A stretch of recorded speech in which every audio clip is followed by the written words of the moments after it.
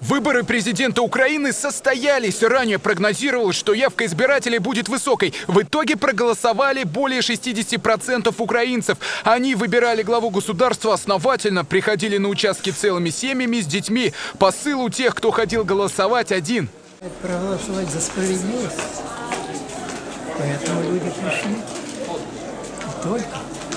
С юридической точки зрения выборы признаны легитимными, демократичными и прозрачными. Грубых нарушений выявлено не было. Правда, без накладок все равно не обошлось.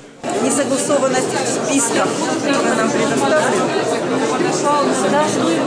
Есть списки отдельные, есть списки на президента, есть списки для местных выборов. Они не совпадают. Очень трудно распределять между нашими работниками, членами комиссии, для выдачи бюллетеней. Поэтому люди некоторые начинают искать себя в одних списках, в других списках. Это создает суету.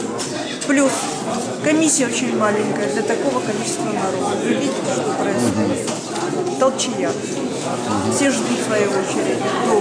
Украинцы готовы были ждать. Картинка с очередями на избирательных участках в воскресенье облетела весь мир. Такого аншлага тут еще не помнят. Вместе с простыми избирателями бюллетени спокойно ждали VIP-персоны. Вот кандидат президенты Ольга Богомолец с дочерью Катериной. Окруженная журналистами выжидает момента, когда же она сможет проголосовать. Дочь не скрывает, что отдаст свой голос за маму руководителя медицинской сотни Майдана.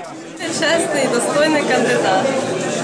Ожидание скрашивается беседой. Ольга Вадимовна говорит о последних событиях в стране и попутно замечает, что не может осуждать президента Казахстана Нурсултана Назарбаева, который поддержал присоединение Крыма к России. Выборов там нет, ведь это теперь другая страна. Я, когда буду знать лично его позицию, я смогу ее комментировать. На данный момент, не имея документов и не имея объяснений его позиции, я не могу сделать никаких комментариев. Не считаю возможным комментировать кого-либо, чья вина еще не доказана.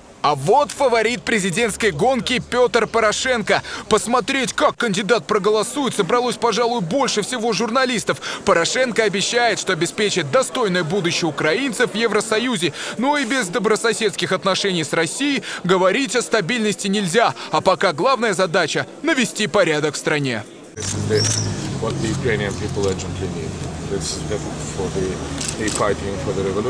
This is why the hero of the heavenly hand uh, gives their lives for.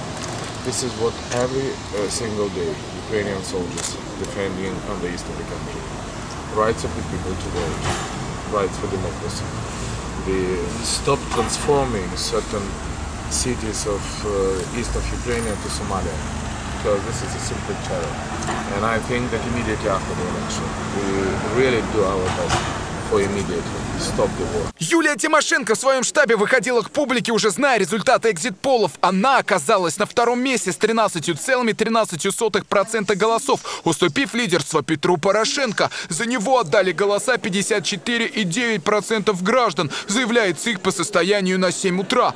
Юлия Владимировна поздравила украинцев с состоявшимися выборами, с тем, что страна становится на рельсы европейского пути и высказалась, какой она видит Украину завтра. Захистити Україну саме повноправним членством України в Європейському Союзі і в колективних системах безпеки і оборони глобального світу. Я вірю в Україну, вірю, що Україна буде сильною, а українці щасливі. І що ми будемо жити в мирі і будемо безумовно всі разом робити так, щоб кожен відчував себе щасливим на своїй землі. Дякую за увагу.